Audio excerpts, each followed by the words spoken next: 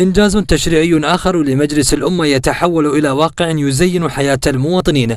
حبر قانون التأمين الصحي للمواطنين المتقاعدين سال على أرض الواقع وبات من اليوم مشمولا بالنفاذ.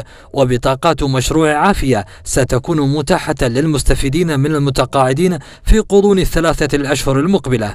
ما في شك أن هناك بعض الأمراض التي سوف تكون مستثنات من هذا العقد والتي قد لا توفرها الخدمات القطاع الخاص أو تكون يعني دائما غير مشمولة في جميع آه، عقود التأمين الموجودة عالميا.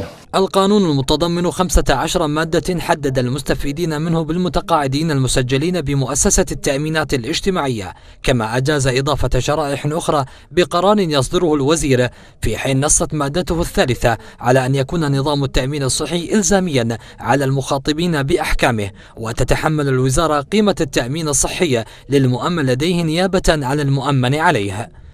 القانون الجديد يخدم ما يقارب 107 آلاف من المواطنين المتقاعدين وستوزع عليهم بطاقات التأمين الصحي خلال شهرين أو ثلاثة أشهر بعد توقيع العقد الذي تبلغ تكلفة التأمين الصحي للمتقاعد سنويا فيه نحو 17 آلاف دينار. وستقدم تلك الخدمة في المستشفيات الخاصة وبعض المراكز الطبية المرخصة والموزعة توزيعا جغرافيا في أنحاء البلاد.